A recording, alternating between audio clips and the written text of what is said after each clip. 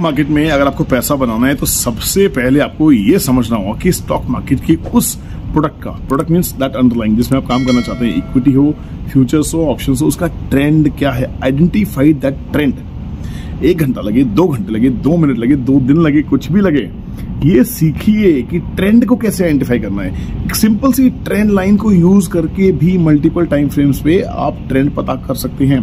But आपको trend नहीं पता करना।